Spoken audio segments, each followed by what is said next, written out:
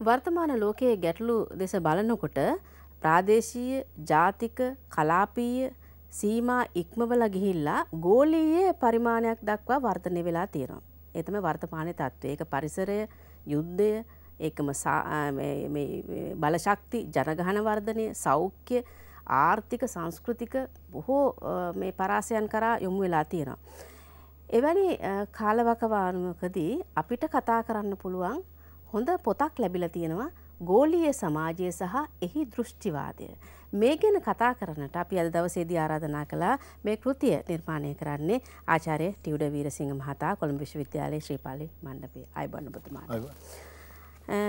මහිතන අපි පසුගේ වර වැඩසටහනකදිත් සාකච්ඡා කලා විශේෂයෙන්ම සිව්මාන ඒ කෘතියත් කාලෝචිත වුණා මට හිතනවා ගෝලිය වශයෙන් මේ කතා කරන මාතෘකා සියල්ලක් කාලෝචිතයි. දැන් ඇවිල්ල තියෙන්නේ මේ විපර්යාසයත් එක්ක අපිට කතා කරන්න සුදුසුම කාලය. මං කැමති ගෝලිය සමාජය සහහි දෘෂ්ටිවාදය ආරම්භයක් සපයන්න.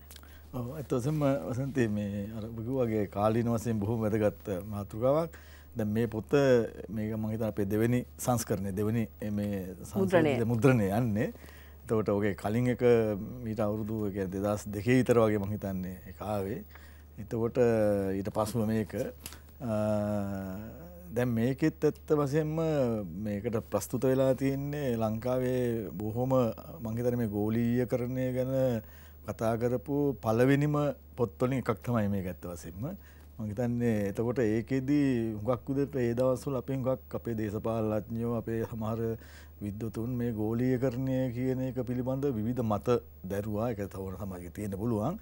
ඒවගේම මේ දමම කියන මට මේක මේ ලියන්න මේ ඇයි මේකට හේතුනේ කියන ගැත්ත වසෙන්ම ඊට පස්සේ මම යම්කිසි කාලයක් අධ්‍යාරණ කටයුතුවල විදේශගත වෙලා ඉඳලා ආවට පස්සේ තමයි මට දැනුනේ මොකද මේ ගෝලිකන ගැන පුළු විදිර යුරෝපය ඇමරිකක් ජනපදහෙම අසුව දසකේ අගභාගේ තමයි කතා කරන පටන් ගත්තේ. ඉතින් අපි මේ අනුව දසකය වගේ අගැවිල්ල මේ ගැන කතා කලා එතකොට ඒකේදී තිමුණ ලොකු මිත්‍යාවක් මිනිස්සු කල්පනා කලා අපේ දේශපාලනජින් පව අපේ රාජ්‍යනායකින් අදත් මහිත අපේ බොහට රාජ්‍යනායකින් ඒ මතය දරනවා. එකන බොහොම මිත්‍යා මතයක් මේ ගෝලි කරණය ගැන. එකන්නේ දැන් ඒකොල් කල්පනා කරන දැන් අපි ජීවත්වන මේ සමාජයේ බොහොම ප්‍රශ්න තියෙනවා ගැටලු තියෙනවා විවිධාකාරය මේ දුප්පත්කම තියෙනවා ඇති නැති පරතරය වැඩි විවිධාකාරය ප්‍රශ්න තියෙන තකොට මෙම ප්‍රශ්න තියෙනවා තොට මේ ප්‍රශ්නවලින් අපිට මේවා මෙවැන් නිදහස් වෙන්න මේ මිදෙන්න ගැලවෙන්න ගැලවෙන්න තියෙන එකම මාර්ගය තමයි මේ ගෝලී කරන්නේ කියන මති තමයි දිනද.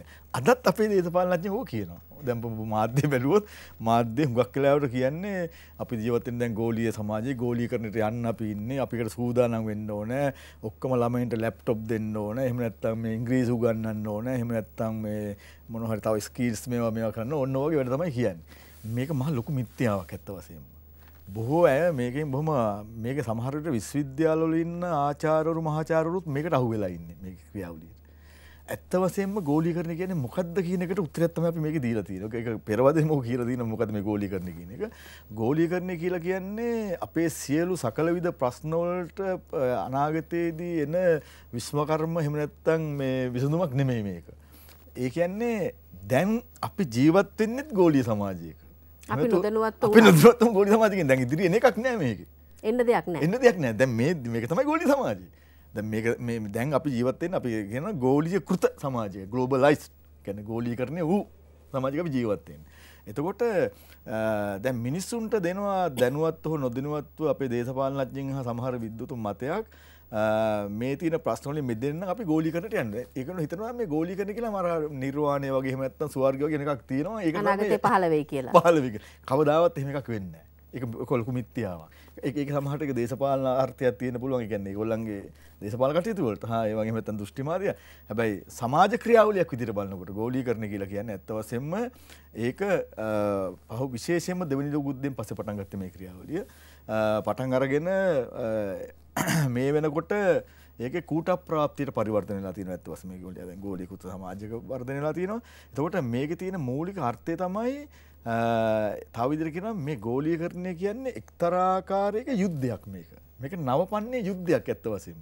සියලුම ජාතික රාජ්‍යවල තියෙන ස්වැරී භාවය අනන්‍යතාවය ආර්ථික නිදහස ඒවැ තියෙන තමන්ට මාවෙනික වෙලා තියෙන ජීවන මාදිලීන් තමන්ගේ තියෙන අධ්‍යාපන පද්ධති දේශපාලන පද්ධති තමන්ගේ තියෙන වෙනත් ඥාති සම්බන්ධ මේ පද ඔක්කොම කුඩු පට්ටම් කරමින් විනාශ කරමින් විශේෂයෙන්ම බටහිරවාදී එහෙම නැත්නම් මම ඒකට කියන්නේ මේ බටහිර මේ කරණය විච්ච ජීවන මාදිලියකට ලෝක පර්යාය ලෝක පටිපාටියකට එහෙම නැත්නම් ලෝක ක්‍රියාවලියකට අපි අන්තර්ග්‍රහණය වීම තමයි ගෝලීකරණය කියලා කියන්නේ. එහෙම නැත්නම් ගෝලීකරණය තුර කිසිම ස්වර්ගයක් අපිට හොයාගන්න හම්බ වෙන්නේ නැහැ. කිසිම ආකාරයක ප්‍රශ්නවලට විසඳුමක් හම්බ වෙන්නේ නැහැ. දැන්ටම මේ පහුගිය අවුරුදු 20 දරම් බැලුවොත් දැන් ගෝලීකරණ ඉතිහාසයේ බොහොම මෑත ඉතිහාසයක් බැලුවොත් ඔන්න අවුරුදු 60ක් විතර තියෙනවා. ඒතරම් බැලුවොත් අපිට පේනවා මේ ගෝලීකරණයෙන් මනුස්ස වර්ගයාට වැඩියම්ම ලැබිලා තියෙන්නේ යහපත් ප්‍රතිඵලයක්ද අයහපත් ප්‍රතිඵලයක්. ඔන්න ඔබට ඔන්න ඔබ අපේ අහන ඕන කෙනෙකුටම මේ මේක ගැන කිරලා බලලා ඔන්න බලන්න පුළුවන්. ඒක තමයි යථාර්ථය. ඒක තමයි යථාර්ථය. හොඳයි. එහෙමනම් මේ පශ්චාත් නූතනවාදයේ ඓතිහාසික කිරණම කොයි වගේද? දැන් දැන් ඒකත් බොහොම වැදගත් ප්‍රශ්න. දැන් පශ්චාත් නූතනවාදය කොහොමද මේකට සම්බන්ධ වෙන්නේ? තමයි අපි දැන් ඔය අපේ කෘතියේ හඳුන්වලා තියෙන නමත් මේ වසන්තේ ගෝලීය සමාජය හා එහි දෘෂ්ටිවාදය. තොර මම මෙතන මේ දෘෂ්ටිවාදය කියන අදහස් කරන්නේ ඕනෑම සමාජයක යම්කිසි යුගයක ඕනෑම සමාජක අපේ ජාතික සමාජයක් ඕනෑම සමාජ ඉන්දියාව චීනය ඇමරිකාව වෙනවා.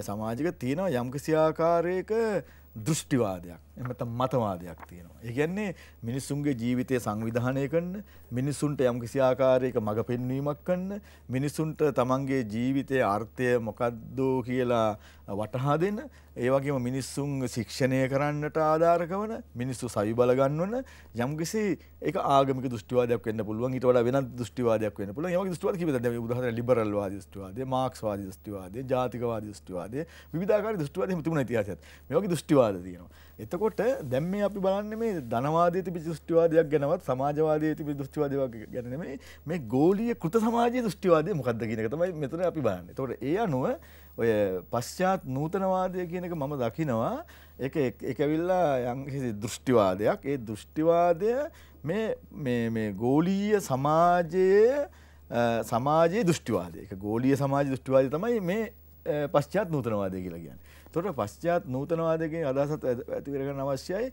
තුට ඊට කලින් තිබුද මනුස්වර්ගයක් ඉතිහාස බැලුව අපි ප්‍රධාන මේ යුග තුනකට බෙදෙනවා මේකත් එක් ඇත්ත බැලි බැලුවොත්. එකත් තමයි පූර්ව නූතන යුගය. එකන අපිම ජේස් වන්සේ උපතේ ඉදං උපත්තේ රෞදු හයිසිකට කලින් කිස්තුපුර හයිසිය හයවැනිසිය වසේ ඉදං ඇත්ත වසෙන්ම මේ දාහත්වෙන් සතවර්සය දක්වාම අපිට කියන්න පුළුවන් පූර්ව නූතන අවධිය නූතනවා නූතනයට පෙරයුග පෙරයුග අවුරු දෙදස් දෙසිය විතර කාලයක් ඇත්තවසෙන් සල් කාලයක් අති සල් කාලය. එතකොට දාහත්තින හතවර්සයනම් දෙවනි ලෝක යුද්ධය දක්වා කාලයගත්තොත් අවුදු හාරසීයක් විතර කාලය අපි කියෙන නූතන යුගය කියලා. නූතන මේ අපේ දැන් ටෙලිවිෂන් එක පුවත් පත් ජනමාධ්‍ය මේ සාහිත්‍ය කලා ඔක්කම දියුණුනේ මේ ඒ යුගේ ආර්ථික ක්‍රම දේශ මේ රාජ්‍ය පාලන ක්‍රම ජාතික රාජ ඔක්කම ඒ නූතනයකුයි. එතකොට එදදාස් නමසය දෙවනි ලෝකුද්දෙන් පස්සේ නමසය හැ පනස් ගලවලින් හැට ගන්න වලින් පස්සේ අපිට උදාවෙනවා ඔය අපි කියන පශ්චාත් නූතන යුගය කියන එක. තෝට පශ්චාත් නූතරවාද යුගය කියල කියන්නේ නූතනවාදයට විරුද්ධ.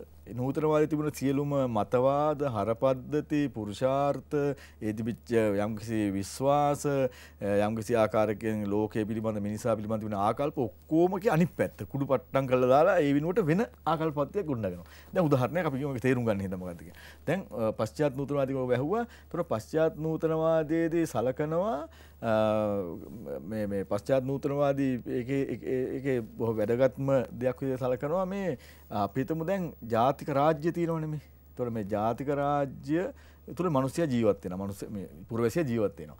එතකොට දැන් පශ්චාත් නූතනවාදයේදී තියෙන දෙයක් තමයි මේ මිනිස්සුන්ගේ සමාජ ජීවිතය යම්කිසි ආගමකට යම්කිසි දර්ශනවාදයකට යම්කිසි සංකල්පයකට ජාතික රාජ්‍යයකට යම්කිසි අධ්‍යාපන පද්ධතිකට ගොුණු කරන්න බෑ මේක එකට එකට කූඩු කරන්න බෑ එකට සීම කරන්න බෑ. ඒ තරම් මිනිසර තියෙනවා පුදුම නිදහසක්.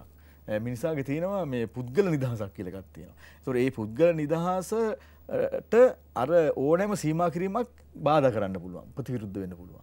තුර ඒක ප්‍රතිවිරුද්ධතාවය යම්කිසි අවස්ථාවකදී සමස්තයක් විදිහට පුද්ගලෙකුට ඒ ඒ රටක් විදිහට අපිම ගිහිල්ලා මෙයානට පස්සේ ඒක බිඳ වැටෙන්න්න පුළුවන්. බිඳ වැටෙන පුළුවන්. දැන් මේ වගේ අදහසක් ඉදිරිපත් කරනවා. ඒකේ තේරුම තමයි අපේ තියෙන මේ ජාතික සීමා ආගමික සීමා ඔක්කොම පැත්තකට දාන්න, ඒව නිෂේධනය කරන්න, ඒවා ඒව ඒව ඇවිල්ලා අයින් කළා දාන්න, දාලා පුද්ගලයා මේ ජාතික මේ පුරවැසියෙක් හෝ ජාතික තලයේ ඉන්න කෙනෙක් නෙමෙයි මෙයා ගෝලීය පුරවැසියෙක්. එහෙම නැත්නම් විශ්ව පුරවැසියෙක් බවට පත් වෙන්නේ. එතකොට එතකොට දැන් ඒක තමයි මූලික අදහස. එතකොට මොකද ඒක ඒක ඒක වෙනකොට මෙන්න ඕනේ මෙයාගේ අධ්‍යාපනය වෙනස් වෙන්න ඕනේ. මොකද දැන් අපේ චාරිත්‍ර වාර්ථ තියෙනවා, සම්ප්‍රදායන් තියෙනවා, විවිධ එතකොට ඒව එකක්වත් මෙතෙන්දි ගැලපෙන්නේ නැතුව යනවා. අහකට දාන්න. ඒව අහකට දාන්න. දාලා එතකොට දැන් ඔන්න ගෝලීය විශ්ව පුරවැසියෙක්. තොර මෙතන වැදගත්ම දේ තමයි මෙයාට වැදගත්ම දේ තමයි මෙයාගේ මේ පුද්ගල නිදහස කියන එක. කාගේද? පුද්ගලයාගේ නිදහස. තොර පුද්ගලයාගේ නිදහසට බාධා කරන්නේ මොනවද? හැම එකක්ම එයා ඉවත් කරන්න ඕන. ආගම කැතුළට ඉන්න එක පුද්ගල නිදහස බාධාවක් ඕන. උදාහරණයක් විදිහට මේ විෂම ලිංගික විවාහය ඇතුළේ ඉන්න එක ස්ත්‍රියක් පුරුෂයෙක් විවාහ වෙලා කුටුම්බයක් හදාගෙන දරුවෝ මල්ලෝ හදාගෙන ජීවත් වෙන එක පුද්ගල නිදහසට බාධාවක් වෙන්න පුළුවන්. ඒගොල්ලෝ අර තර්ක කරගෙන විදිහට. හින්දා විෂම ලිංගික විවාහ වෙලා වැඩක් නැහැ. ඔන්න සමලිංගික විවාහ ඇති වෙන්න පුළුවන් එහෙම නැත්නම් ඒවත් නැත්නම් තව මොනවා හරි ඇති වෙන්න පුළුවන් ඒ වගේම තවාර්ථයක් උදා විදිහට දැන් දැන් කොච්චර මේ පුද්ගල නිදහස වැදගත්ද කියනවනම් පුද්ගලෙකුට තියෙන්න ඕන අයිතියක් තමන්ගේ ලිංගය පවා තමන්ට තෝරගන්න ට්‍රාන්සෙක්සුවලිසම් සංක්‍රාන්තික ලිංගිකවාදය එතකොට එතකොට දැන් මේ යුරෝපයේ ප්‍රශ්න මතුවලා තියෙනවා. දැන් යුරෝපයේ මේනකොට පාසල් වල ළමයිගේ ප්‍රශ්නයක් තියෙනවා. පිරිමි ළමයි කොහොමද? ගෑල් ළමයි කොහොමද? දෙකටම නැති ළමයි කොහොමද? එහෙම පිරිසුත් ඉන්නවා.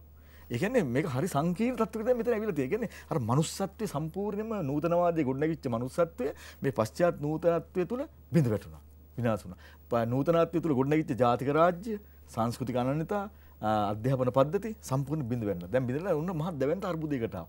මෙන්න මේ අර්බුදය ජනනය කරන මේ මෙන්න මේ දෘෂ්ටිවාදය. එහෙම නැත්නම් මේ අපි කියන්නේ මේක නේ ව්‍යාකූලත්වයේ දෘෂ්ටිවාදය තමයි ගෝලී කරන්නේ දෘෂ්ටිවාදය අද ඔබට පේනවා අද ගෝලී කරන කියලා කියන හැම රටකම අවුල් දැන් බලන්න ගෝලිය කරන්නේ ක්‍රියාත්මක විච්ච ක්‍රියාත්මක කරපු රටවල් දිහා බැලුවාම දැන් උදාහරණයක් අරාබි වසන්තය. හරහා මුළු අරාබි ලෝකයේම විනාශ වෙලා ගියා. ආයිත් අවුරුදු 100කට අරාබි ලෝකෙ නැගිටින්නේ සම්පූර්ණ විනාශ කරා ඊළඟට බලන්න කොසෝවා වල ඉඳන් සෝවියට් රුසියාව දක්වාම මුළු පද්ධතිය විනාශ කරලා නැගෙනහිර රූපේ. දැන් ඒව ඇතුළේ චූර්චු රාජ්‍යම් බිහිවෙනවා ඇන කොටා ගන්නවා කිසි මේකක් නෑ තම තමගේ වෙන පස්චන්නතුවාදී. දැන් එක එක ටික දැන් ඔන්න ඉරානය පැත් මේ දස් ඉරාණය ගැන කතා කරන බරපරතුර හිතර වෙනවා ඊළඟට දැන් ම හිතනවා මේ පොතේ අපි ගැන කතා කළ තිනවා සමහට ඉදිරි වසර දහයි දසක ඇතුළෙදී ඔගේ ඒ දවසම කතා කර විස්සක අවුරුදු දහයක විස්සක ඇතුළදී මේක එන්න පුළුවන් ආසියාව විනාස කිරීමට ඒ ගැන චීනය හා ඉන්දියාව. චීනය හා ඉන්දියාවත් කෑලි කෑලිවට කර කැරෙන්න්න පුළුව. එකන මේ ගෝලී කරන යුගේ මහිතමට මලින් අරමුණු රිබේ ගෝලී කරන කියලා කියන්නේ යුද්ධයක්. ඒ යුද්ධය නවපන්නේ යුද්ධයක්. ඒ යුද්ධයේ දෘෂ්ටිවාදය තමයි පශ්චාත් නූතන නූතනවාදය. පශ්චාත් නූතනවාදයෙන් දෙන්න අපිට මොකක්ද ජාතික විරෝධී සංස්කෘතික විරෝධී ඒවගේම අනන්‍යතා විරෝධී ප්‍රාදේශී විරෝධී දෘෂ්ටිවාදයක් ඇති කරන්න. මේ ඔක්කොම විසංයෝජනය කරන්න ඔක්කොම බිඳල දාන්න ඕන. ඒ බිඳ දෑම තුළ තමයි පුද් විස්ස පුරවශයක් නිදහද බිහිවෙන් මේක දැන් ප්‍රායෝග පෙල්ලා තියෙනවා. ඒතර විශ්ව පුර පොලේශයක නිදහසන මේ මනුස්සයක විනාසය එතන තියෙන්නේ. මනුසිකනයාසෙන් අන්න ඒකට අනු තමයි ගෝලි කරන ද මේ තත්වයට පත් වර්ධනය වෙන්න. හිද මේ ගෝලි කරනය කියනකම අපිට පීටිම් පේනවගේ ට්‍රොපිකොලෙක් ඔතර තින මේ පිට ට්‍රොපිකොලේ වගේක් නෙමේ මේක ඇතුලෙත් ගිහිල බලන්න මොකද මේ විල ක්‍රියාවලික දැන් පැහැදිලුව පේනවා ගෝලි කරන කියනක මේ මොහොත. දැන් අත අපි වර්තමාන මේ කතා කරන මොහොතේ. දැන් මේ වෙලාවේ ඇමරිකා එක්සත් ජනපදය හා රුසියාව අතර ආටික් ඒ කියන්නේ උත්තර මේ දක්ෂ උත්තර ලෝක උත්තර ගෝලේ තියෙන දැවැන්ත සම්පත් ප්‍රමාණයක් ඒ සම්පත් ප්‍රමාණය සම්ප්‍රදායක විසින් රුසියාව සහ වෙනත් රටවල් මේලා ඇමරිකාව තමන්ගේ ප්‍රධාන යුද මධ්‍යස්ථාන කීපයක් ඔස්සේ ඒවා ආක්‍රමණය කිරීම වැඩ පිළිවෙල සකස් කරගෙන යනවා. ඒ කියන්නේ ඒක ඒ සම්පත් සඳහා මේ ගෝලීකරණය කියන්නේ ඔන්නක තමයි. ගෝලීකරණය කියන ක්‍රියාවලියේ තේරුම තමයි මුළු ලෝකයම ඒකීය එම නැත්තම් එක උපරි මධ්‍යස්ථානයෙන් පාලනය වන සමස්ත ක්‍රියාවලිය බොට පරිවර්තනය කිරීම. දැන් ඒක දැන්ට පරිවර්තනයෙන් පවතින දැන් එකින් පිට තියෙන ඉතාම සුළු ජනගහනයක් හෝ සම්පත් ප්‍රමාණයක්. හොඳයි. ඒ ඒ සුළු ජනගහනය හෝ සම්පත් ප්‍රමාණය අපිට අනාගතය දැන් ගොඩක් දෙවල් දැන් මේ මීට කලින් අවුරුදු ගානකට කලින් කියපුවා තමයි මේ සනාථ වෙලා තියෙන්නේ. ඒ සුළු කොටසත් එකතු වෙනට හැකියාවක් තිබෙනවයි කියලා අපිට කියන්නට පුළුවන්ද?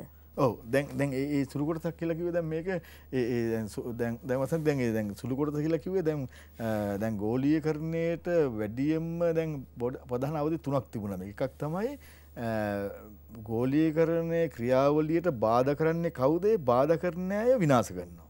එතනින් ඉවත් කරනවා. ඉවත් කරනවා. දැන් උදාහරණයක් පළවෙනිම බාධා මතුනේ සමාජවාදී ලෝකෙන් හා කොමියුනිස්ට් එහෙම නැත්නම් සෝවියට් රුසියාවෙන්. මතකනේ 90 අවසානයේ මොකද උනේ කියලා. සියල්ල බිඳලා දැම්මා. සියල්ල විනාශ කළා. ආයිත් ඉවරයි ඒකට. ඊළඟ දෙවනි අභියෝගය එල්ලුණේ අරාබි ලෝකේ. ඉස්ලාම් ත්‍රස්තවාදී. උන් ආපහු මත ඉස්ලාම් ත්‍රස්තවාදයේ මූලයන් ඇත්ත වශයෙන් බලුවොත් ගැඹුරු විදිහට බැලුවොත් ඒක මේ බටහිර ගෝලීකරණයට විරුද්ධව මතුවෙච්ච එකක්. ඒ ඒ ත්‍රස්තවාද තම ඊට පස් ඇමරික ඇමරික ජනපදය ඒකුල්ලන්ට මේ ෆන්ස් කල්ල මේ කල්ලා ඒකුල්ලන් උමනවන්සට පවච්චි කන පටන් ගත්තා. අල්කයිඩා විශේෂම අපිස්ථාන්ට විරුද්ධ මේ සභාබ මිල්ලාට පිස්ථාට විරුද්ධ ඉලට දැන් දැන්ගොයි දැන් අයිස් දැන් සිරියාවට විරුද්ධ ඉළඟට මධ්‍යාසය මේ ඔල්ට රුද්ධ සහ දැන්ුන් අපිට රෝට ඇවිල තියෙන මේක වලක්න්න බෑ. තොර මේක නියෝජනය කරන්න අපේ ලංකාව ජාතික මේ රාජ්‍ය ආණ්ඩුව ඇතුරත් තින්නවා ඒ අනාගතය ආසියාවම තත්වර පත්වන කියෙන අනාගතයට වෙලා දැනටමත් වෙලා මගේ චීන අස්ථාවර කිරීමේ වැඩ පිළිවෙල ආසිය අත්තවර වැඩ පිළිවෙලේ එක කොටසත්තමයි මේ දැන් මේ ක්‍රියාත්මකවෙන්. ඒක දැනුවත්ව නොදනුවත්ව මේ නව ලිබරල් ගෝලීය කරන ක්‍රියාවලිට සහයෝගය දක්වන දැන් අපේ රටේ පාලනය කරන සමහර පාලකව ඉන්න. හිපදකින්න. තුර මේකොල්ලො බොහම සවිඥාන ද ප්‍රතිස්්‍රස්ථ පනත කියනවා. ප්‍රසිතස්ථපන්ත කියන සම්පූර්ණයෙන් මේ ගෝලිය ගෝලිය කරන යුගේ දෘෂ්ටිවාදයක පැතිකටක්කේ. ත්‍රස්තවාදය පණගන්න ඕන ගැටුම් ඇති කරන ව්‍යාකුලත්ව ඇති කරන ව්‍යාකුලත්ය තුර පාලනය ගෙන යාවට පදනම සකසන ක්‍රමැත්තමයි ප්‍රතිශ්‍රස්ථ පනත කියලගේ. ඔය ප්‍රතිශස්ථ පන්ත කියන තේරුම තමයි කවුන්ට ටෙරරිස් ස්ට්‍රජිජි කියන ගැන ප්‍රති ත්‍රස්ත උපාය මාර්ගික පනත කියන එක. තමයි ලෝක රටවල් ව්‍යාප්තය නැති දෙදස් පහෙන් පස්සේ සජ්ජාති සංවිධානය අර මේ ක්‍රියාත්මක ති මෙහින්ද දැන් මේ වෙනකොට අපි කියන විදියට ඒකීය ලෝකයක් ඒකීය දෘෂ්ටිවාදයක් දැ නිර්මාණලා තිනවා ඒක තමයි ගෝලි කරන කියලා හඳුන්වන් අපි හිතන විදිහ ගෝලී කරණය අපි අප දේශපාලන බොහගෙන හිතාරන්න ගෝලි කරන අප ප්‍රශ්න විසන ගෝලි කරනයක් නෙම ඒක. මේ ගෝලී කරණය ඇත්ත වසෙන්ම බටහිර උපරි සමාජය මගින් දියත් කරන ඉතාමත්ම සංක්‍රාමික සංක්‍රාමයක් මේක. යුද්ධයක්. මේක මේක විල්ලා මහා ආක්‍රමණයක්. මේක විල්ල මන මානව වර්ගයාගේ විනාශ මානවර්ග විනාශ ඇත්වසෙන් මේක. මේකට දැන් දැන් ඕන්තර උදාහරණට කියනට වෙලා නැද නමුත් ඒ ඒ විනාසයක දැන් මේකට දැන් මේ වෙලා අපි කල්පනකට මේක බැංකි හොඩු හොඩුවක් දක්කනවා මේකට අවශ්‍යයි ගෝලිය විකල්පයක්. විකල්පයක් අවශ්‍යයි මේ ගෝලිය කරන ඉතරක් නෙමේ මනුස්වර්ග අනාගතයට තියෙන මාර්ගය. තව මාර්ග විශාල ප්‍රමාණයක් තියෙනවා. හොඳ ඒ විකල්පත් අපි ස්වා යුතු අනිවා අනිවර ඒ එකක් තමයි වසන් දන්ත්‍රම කියන කැමති. වන් බෙල්ට් වන් රෝඩ් කියලා පලවිනි වතාවට මනුස්වර්ගයාගේ පෙරදිග මනුස්වර්ගයාගේ ඉතිහාසය තුළින් මේ උත්පාදන චීනය මේ බටහිර ගෝලිකට විරුද්ධ යන්කිසි අදහසක් ඉදිරිපත් කල තියෙනවා. දැන් දැන් ඒ සාකච්චමින් පවතින ලෝකමට එකට ප්‍රධාන විරුද්ධාව මතුවෙන ඔය අර බටහිර ගෝලි කරන ප්‍රමාණාව මෙන්න මේකත් එක තමයි අද ලෝකෙ තත්ත්වය දැන් මේ ගැටමින් හිරවෙමින් මේ ගමන් කරමින් තියෙන හොඳ අපි ඉදිරියේදීත් මම හිතනවා තවත් වෙනස් විදිහකට මේ මේ මාතෘකා පිළිබඳ කතා කිරීම වඩාත් වැදගත් වෙනවා කියලා. මොකද මාධ්‍යක අපි මේක කතා කළහොත් තමයි මම හිතන්නේ ආචාර්යතුමනි අපිට ගෙනියන්නට හැකියාවක් තිබෙන්නේ ජනතාවට මේ මතය ජනතාවට මේ දැනුම. ඒ නිසා මම හිතන්නේ ඒක ඉතාමත්ම අවශ්‍යතාවයක් මත තියෙන කාලෙක තමයි අපි ඉන්න. ඉතින් එනිසා අපි ආචරතුමාගේ උදා උපකාර තවදුරටත් බලාපොරොත්තුන ඒ දැනුම අපි බලාපොරොත්තුන අපි ජනතාවතරට අරගෙන යන්නට. ගෝලිය සමාජය සහ ඒ දෘෂ්ටිවාදය කියන මේ කෘතිය පිළිබඳව අපි ආචාරයට උඩ විරසිංහ මහතා සමගින් අද දවසේ සාකච්ඡා කළේ. අපි විරාමයක්වත් නොතබා ඔබට දිගින් දිගට මේ සාකච්ඡාව ගෙනාවේ. එය අපට අතර මැද බිඳ දමන්නට අවශ්‍යතාවයක් නොතිබූ බැවින්. ඉතින් ඒ නිසා දවසේ අපි සමුගෙන යනවා කතා කරන පොත් වැඩසටහනින් අපේ ආචාර්යතුමාට සමුදෙන ගමන්ම. එමනම් තවත් දවසකදී අපි ආලෙත් හමු වෙමු. සුබ දවසක්.